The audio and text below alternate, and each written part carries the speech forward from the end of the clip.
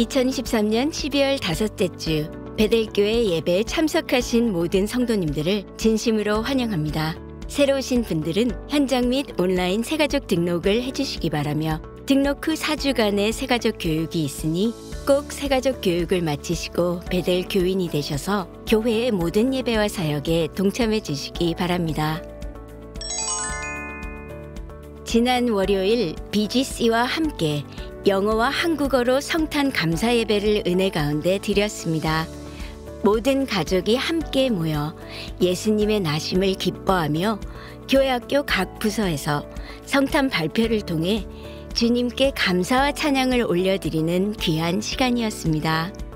성탄절을 맞아 성탄 2부에 소망부와 양로병원팀이 함께 양로병원에 방문하여 한마음으로 예수님의 탄생을 기뻐하였고 준비해간 따뜻한 무릎 담요와 목도리 선물을 전달해드리며 위로와 사랑을 전하였습니다.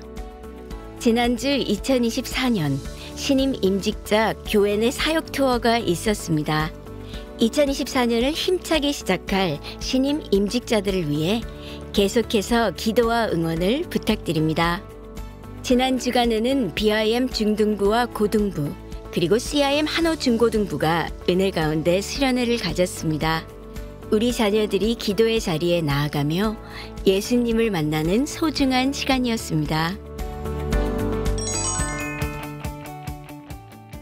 말씀과 기도로 마음을 새롭게 하여 감사함으로 한 해를 보내며 기쁨으로 드리는 송구영신 예배가 오늘 1부는 저녁 7시에 2부는 저녁 10시 30분 본당에서 각각 드려집니다. 온 가정이 함께 하셔서 은혜의 시간이 되길 바라며 송구영신 예배 때 My One Prayer를 제출해 주시기 바랍니다. 다음 주일 1월 7일은 신년 예배로 드립니다. 각 예배 시간에 성찬식이 있으니 세례 입교 교인은 예수님을 기념하는 거룩한 성만찬에 참여하실 수 있습니다. 새해에 새 일을 행하실 하나님의 은혜를 기대하며 기도로 준비해 주시기 바랍니다. 우리 늦둥이 셋째 주원 주신 하나님께 감사드립니다. 하나님이 인도하심에 저희가 따라가는 부모 되게 해주시옵시고 앞서가지 않으며 늘 동행하는 부모들에게 최선을 다하겠습니다. 유아세를 통해서 더욱더 하나님께 나아가는 우리 가족 되게 아, 기도합니다. 감사합니다. 그러므로 내가 너희에게 말하노니 무엇이든지 기도하고 구하는 것은 받은 줄로 믿으라.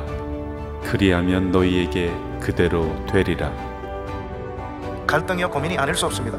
여러분 같으면 과연 바칠 수가 있겠습니까? clergy, pastors, and leaders of ministry, they're wondering aloud if that is going to happen or not. We're not quite sure.